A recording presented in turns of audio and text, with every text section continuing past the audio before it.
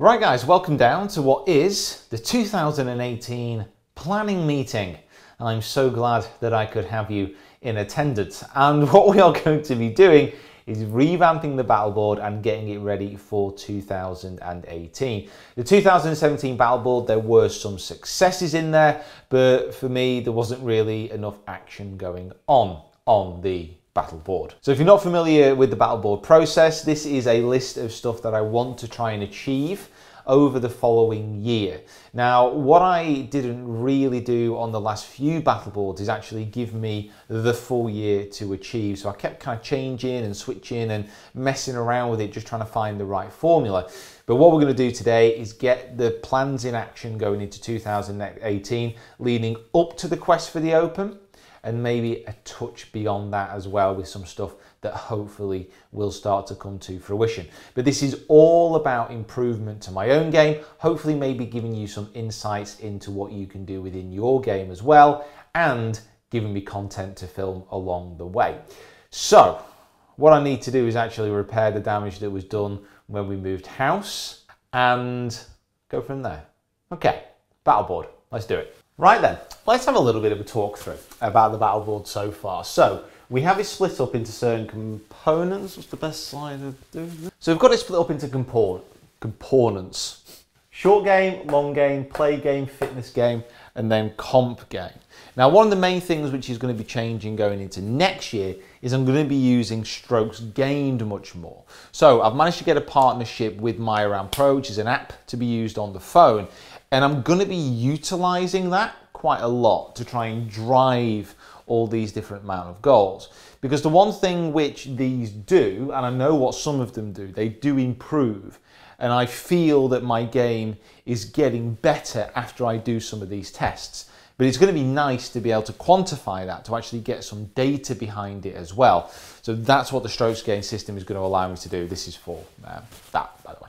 So the first thing back on there is the scramble test. Now with the scramble tests, I know that they work. So I can see the improvement within my short game, not only in what I feel, but actually the results that I've had in competition. So last year I had some of my best results in competitions, but also I found that my short game, when I wasn't playing well, was actually helping me and still stabilizing my scores. So those are going to be staying. So the next one, which has just been jotted on there, is the one club scramble test. Now very simple, over nine holes, if I use, say, a lob wedge to get up and down on the first hole, then I can't use that again for the rest of the nine holes. It's going to hopefully give me a little bit more of a variation in my short game because I am quite tempted at the moment just to fly everything quite high.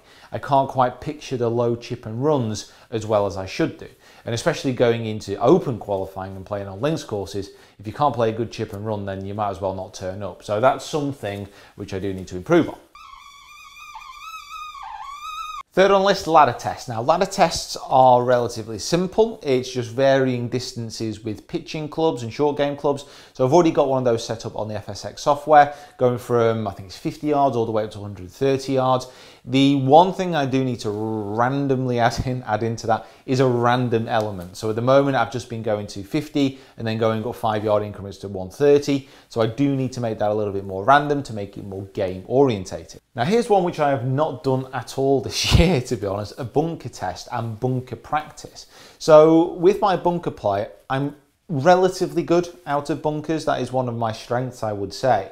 But compared to a really good bunker player, then I'm probably not quite there yet. So the bunker test, very similar to the scramble test, because again, it's an in-game test, I know it works. When I'm playing nine holes, taking the ball, chucking it off the green into a bunker, and then trying to get up and down. Now, some courses, obviously, they won't have a bunker around the green, but most courses that you play will have at least one sand trap somewhere near that green, unless it's something like Windermere, which doesn't have any bunkers at all, but then I wouldn't obviously do that test there. So one thing I've added in here, lesson block practice. Now those lessons are still going to be carrying on with Dan Whitaker, um, and I feel my game technically has come along quite well this year, but it's getting the balance right between the block practice and competitive games as well.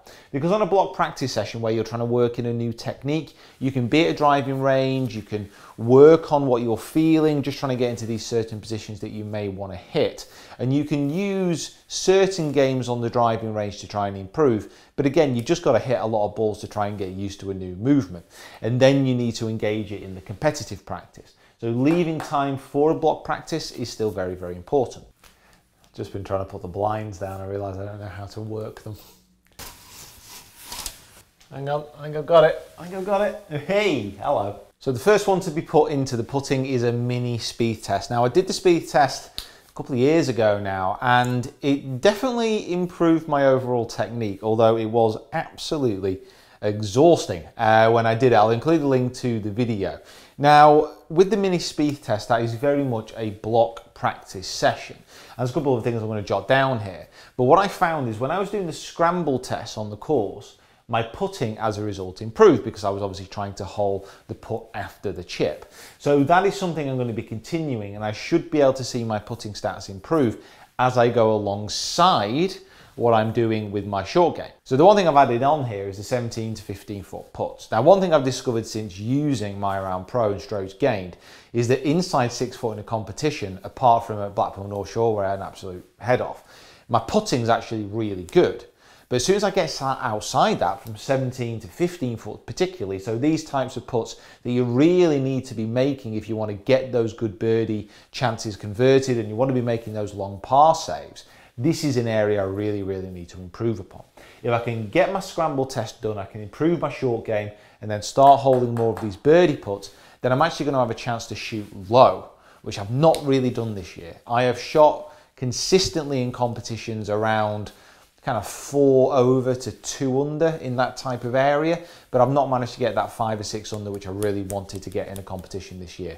So that is what I really need to try and improve upon. And then the bottom here, we've got the lessons and a smiley face, so I need to carry on getting lessons. That's one thing I've neglected in my putting for the second half of this year. So on the long game tests, got the fairway finder test, got the driver power, I've got the stents in it, and then I've got the 130 to 180 yard tests. Now, 130 to 180 yard test, these can be done on the course, but I might also get some tests set up on the FSX software as well for this, because this is an area, again, which has been identified as somewhere that I really, really need to improve on.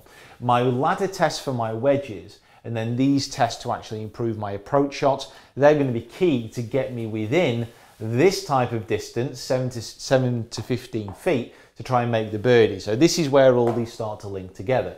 The fairway finder is simply around where I'm just going to be hitting irons off the tee, just trying to find the fairway and see what results that has on my strokes gained to see if that improves. Well, it will improve my accuracy off the tee, but is it going to start to improve my approach play? The driver power test, that is the complete opposite. Trying to develop enough power in my driver so I can give it a rip and then see what that does to my scoring as well. Because one thing which strokes gained shows on the main tour is that actually power off the tee, getting it out there a distance, even if it doesn't necessarily find the fairway, can actually be an improver to score. So that's something that I've got to do as well. And the stance in it is something which I basically want to try. So hitting a three wood off the tee almost seems to have become a little bit obsolete in some respects. So you don't actually see that many people doing it. I think because driver technology has improved enough to help um, with maybe some offline and some errant strikes off the tee.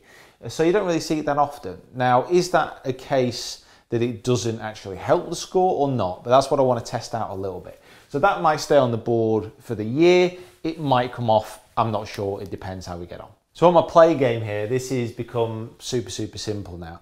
So I want to try and get done some practice rounds where it's not necessarily, it's not just about going out and having a knock. It's actually about trying to treat that practice round as a, a real competition to really make it matter.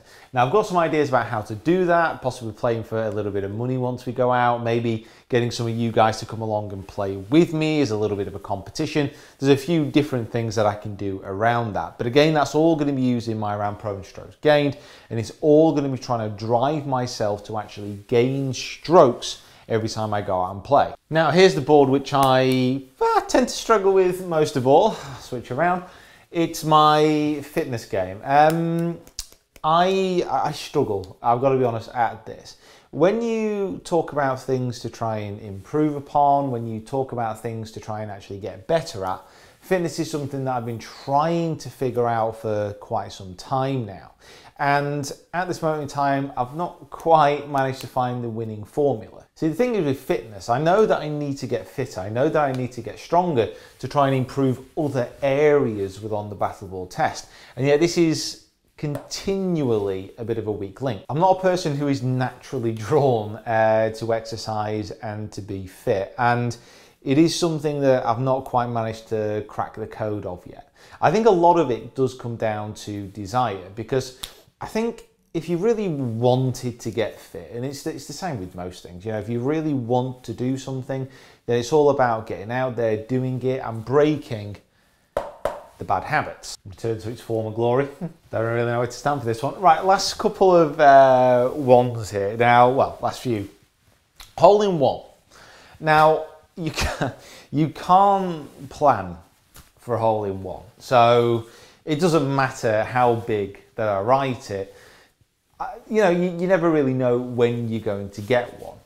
But, but, I really want to get one uh, next year and having it on the battle board and having it there in mind, it has actually done something quite different to my par 3 performance after the Open. So before the Open, I was actually losing a lot of shots on par 3s but since the Open, since Rick got his hole in one, leaving me the only lad in the group who hasn't got one yet, my attitude towards par threes changed very, very, very quickly.